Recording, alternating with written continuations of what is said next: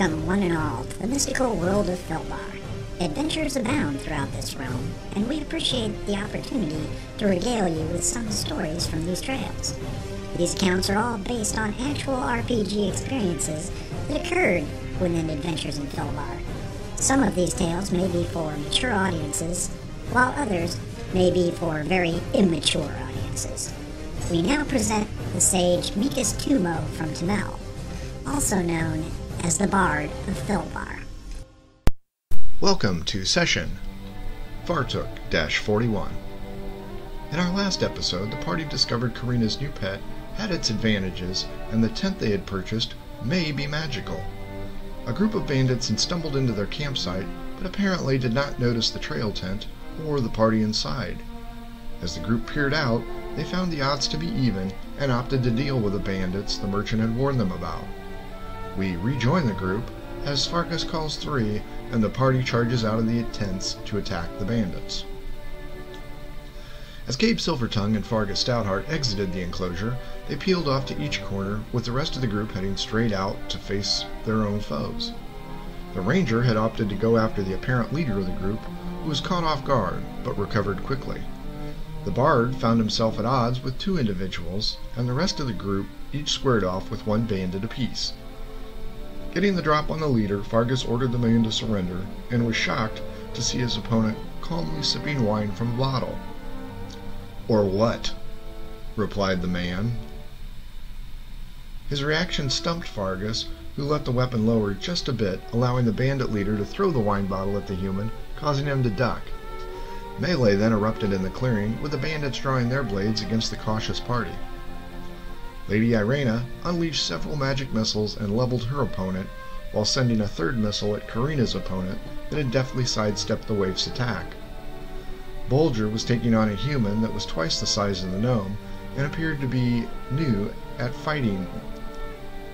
The bandit swung his pitted blade awkwardly at the sailor, who easily sidestepped the attack and cracked the man in the knee, causing him to drop like a stone. Cabe had his hands full with a pair of bandits against him, but did slash each one while sustaining a cut to the chin in the process. Sister Elaine sized up her opponent, who made a crude remark about her sex. In response, the cleric pulled up her robe to display her calf.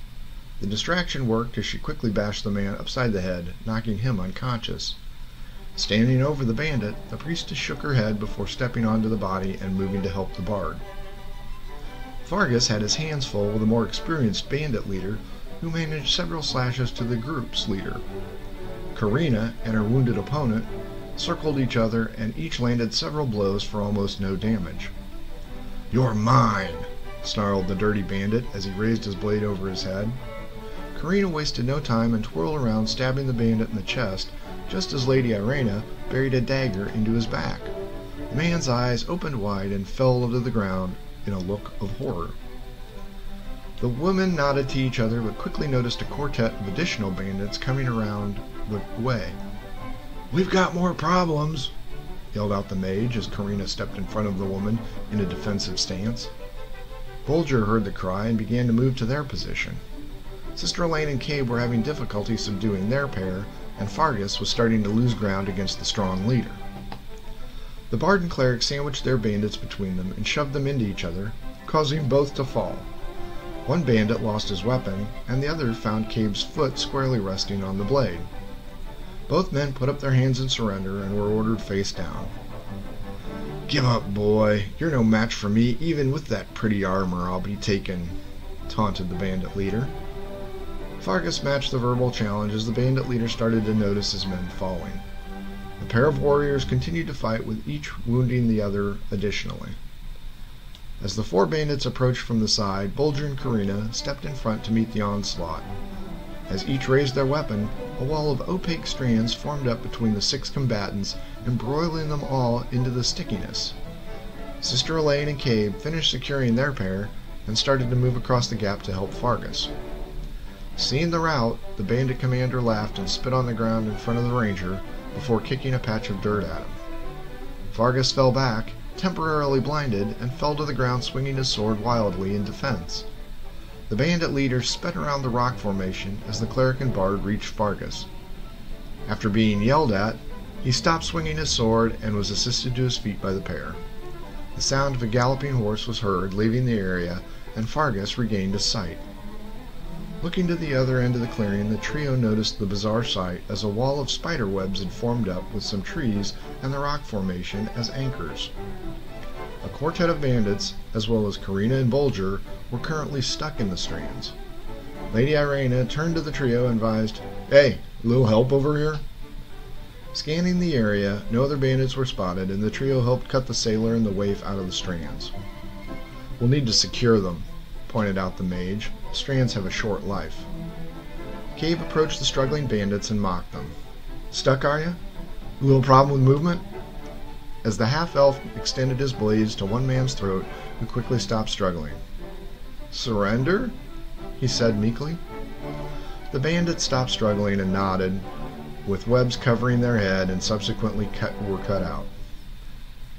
After being secured with the last of the hemp rope, Sister Elaine and Fargus moved to the other side of the rock formation, where they discovered a wagon with a pair of mules. Inside the wagon was a plethora of pilfered items, along with more rope and some meager supplies. Seeing no additional foes, they returned to the group, who had lined up the captured bandits, and reported only two casualties for the other side. Bulger had apparently done significant damage to his opponent, and the Karina Irena slashing victim was far too gone to save him as well. Fargus was bleeding quite badly and was quickly given one of the healing potions to secure his health. Other injuries were not serious and were quickly bandaged. Cabe sat down in front of the captured bandits and began to interrogate them. The adventurers quickly discovered that the group was known as the Green Sash Gang, which fit their attire. They had been on the road for several months, and their leader, Cornwall, was the one who had escaped. Bulger and Karina watched over the bound prisoners, as well as Peepers, who had been retrieved from the tent. The presence of the Axbeak alone was enough to keep the bandits in line, as the small creature ran up and down the line in front of them. The antics garnered a smile from a bandaged Karina. The senior members of the group discussed their options and revealed the presence of the cart and mule. It was decided that the dead would be buried here and the prisoners taken to Colby for whatever judicial action was necessary. The quartet returned to address the bandits and asked if anyone was hungry. The dejected bandits each shook their head and were fed one at a time as peepers kept a close eye on them. We close out this episode now and give you our thanks for listening. Please subscribe to this podcast and don't forget to follow us on Twitter at The Bards Podcast.